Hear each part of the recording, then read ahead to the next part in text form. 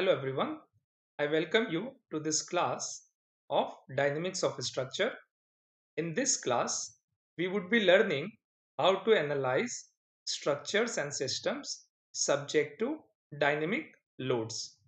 So we will start the course by simplifying systems to a single degree of representation or a multi-degree of freedom representation. And for both type of representation, we will see how to analyze those systems subject to different type of loadings which we might encounter in real life. And some of those loadings could be initial condition or it could be harmonic or periodic motion or it can also include the arbitrary pulse type motions or triangular loading and those are simply representation of different type of loads that they are subjected to.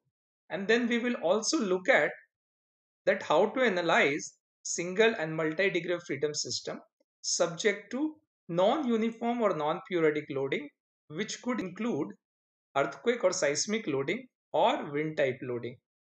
And we'll learn about numerical methods that can be employed to find out solutions or the response of systems subject to dynamic loads in cases where the analytical solutions might not be available.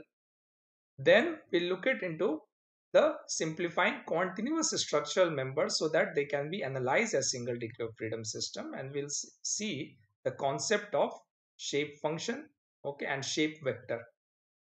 Then we'll get into multi-degree of freedom system and learn about what do we mean by mode shapes and modal frequencies.